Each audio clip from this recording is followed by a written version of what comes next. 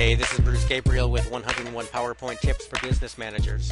And today's tip is how to create tables with rounded corners.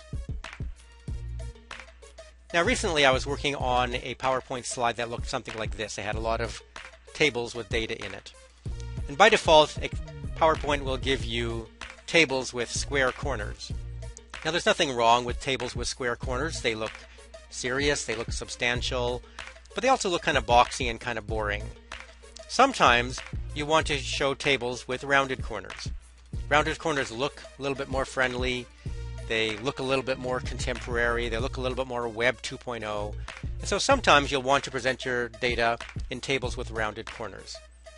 Now PowerPoint doesn't have the ability to automatically create tables with rounded corners. You can't right click on a table and choose rounded corners.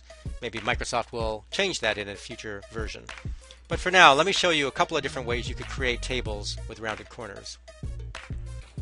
First of all, imagine you have a table like this. The first thing you'll want to do is get rid of the exterior border completely. Now you'll want to add a border around this table. So that's one simple way of doing it. The problem is when you want to start adding color to this table. For example, when you add green to the top row or gray to the bottom row, those rows now overlap that curved shape, and so it doesn't work anymore. But let me show you another way to create rounded corners when you want to add color to your table.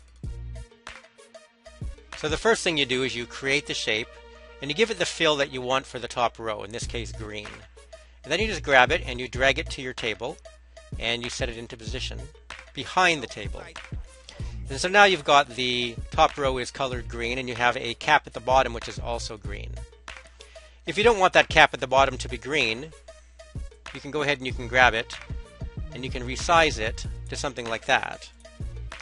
And you can see that it doesn't quite fit perfectly. You have to get in there and you need to do a little bit of fine tuning to make it fit exactly the way you want. So it takes a little bit of a little bit of extra effort, but eventually you can get it to something like that. Now the problem is that the top is curved, but the bottom is not. What do you do if you want the bottom to be curved as well? Here's another trick. In that case, you make a shape like this that's composed of two colors. The color green for the top row and the color gray for the bottom row. And the way you do that is by creating the shape and then you right click on it and you go to Format Shape. And in Format Shape, you're going to choose Gradient Fill and you're going to choose Linear as the type and the direction you're going to choose dark at the top, light at the bottom, linear down. And then you're going to create four gradient stops, which I've already created here. The first stop is at 0%, and it's just the color that you want it to be. In this case, it's green. The second stop is going to be, you know, roughly 16%, something like that. And again, it's going to be exactly the same color, green. So what you've done there is you've said from here to here, I want it to be green, then you create two more stops. One is going to be right after that, that stop, and that one's going to be the color of the last row. In this case, it's gray. And then the last stop is going to be here at 100%, and it's also going to be gray. And by doing that, you can create this shape. And I'll show you how this works. Like if I were to move this stop, you can see how the color changes throughout. Okay? And then you simply grab this shape and you slide it into position. And once again, you kind of have to do a little bit of fine tuning. You have to kind of move in there and make it like nice and tight. But eventually you get to uh, green at the top and you have curved at the bottom. And again, you can see how this line doesn't quite go where you want it to go. You've got to really get in there and you've got to really um, move things around right, to get exactly where you want. Or you need to just get rid of that uh, that outside border completely, and you have something like that. Okay. So you can see there's a lot of work involved, a lot of fine tuning involved in getting the shape to be exactly right. Here's another way to create rounded corners without so much effort. First of all, you have your table, and then you create a border around it. In this case, I used a relatively thick border. I'll show you how I do that. Go up into the Format tab, go to Shape Outline, choose Weight, and don't choose the thickest line in this list, go all the way down to more lines, and in this case I chose 20 point width, so relatively large. And then I just fill that line in with a color that matches the background color, in this case white.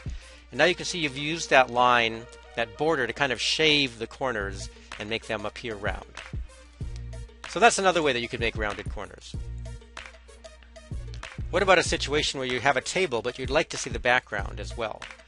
In that case, you can't just add a shape because now you've obscured the background. But here's a neat trick. Go ahead and create your shape and put it in the background.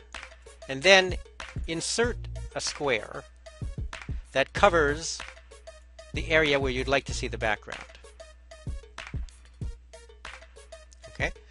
Then go to Format and remove the shape outline. You have no outline.